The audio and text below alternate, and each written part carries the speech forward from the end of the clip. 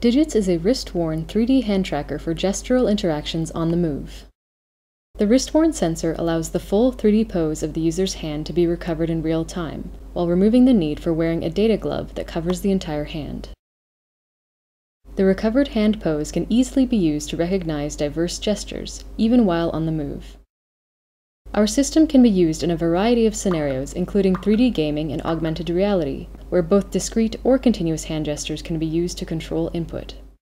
As the device is wrist-worn, no line of sight to an external sensor placed in the environment is required. The user can perform subtle gestures while resting their hands on their leg or table. Digits is built using only off-the-shelf hardware. The main components are a wrist-worn infrared camera, infrared laser line generator, additional diffuse infrared illumination, and an inertial measurement unit. One interesting interaction possibility Digits enables is 3D spatial interaction around a mobile device that is seemingly interweaved with traditional touch interaction. Here, the user starts semantic zooming using an in-air pinch gesture and continuously controls the zoom factor with the remaining fingers. Another gesture is used for panning the interface or manipulating an object once it has been selected through touch. Another interesting design space for digits is eyes-free interactions, where no visual feedback is required to control a mobile device. In this example, the user controls functions of a mobile device while the device is left in the pocket.